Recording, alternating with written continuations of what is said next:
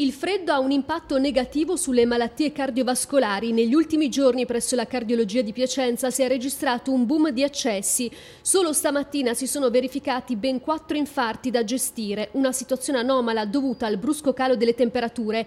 Il cambiamento delle condizioni climatiche, soprattutto così estreme come le basse temperature, adesso anche la neve, ha portato ad un incremento dell'incidenza di patologie cardiovascolari acute, in modo particolare di infarti e di arresti cardiaci è un dato noto che le temperature basse possono provocare destabilizzazioni cliniche nei pazienti cardiopatici, per cui il consiglio di avere molta attenzione, rimanere aderenti alla terapia medica.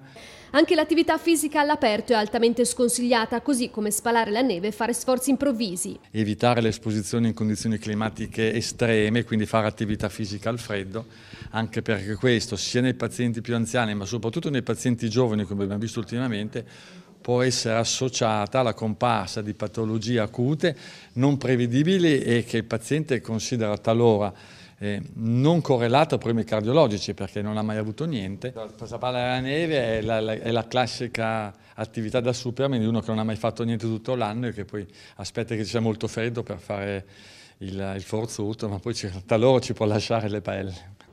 L'azienda sanitaria è comunque pronta ad affrontare i disagi dovuti a neve e ghiacci, in allerta soprattutto la struttura dell'emergenza-urgenza. La direzione raccomanda ai cittadini la massima cautela per evitare per quanto possibile il rischio di scivolamenti e cadute. Sono soprattutto le persone anziane a correre rischi maggiori. Il mio timore è che abbassandosi le temperature col gelo si possa cadere e riportare traumi. Quindi gli anziani, tutti coloro che hanno problemi di equilibrio, ma soprattutto mi riferisco alle fasce di età più avanzata, il consiglio forte è di stare in casa per tutto, per tutto questo lungo fine settimana per evitare cadute perché in quella fascia di età le cadute sono spesso eh, dire, situazioni importanti. ASL fa sapere anche che non verrà applicata la sanzione amministrativa prevista per chi non si presenta a una visita.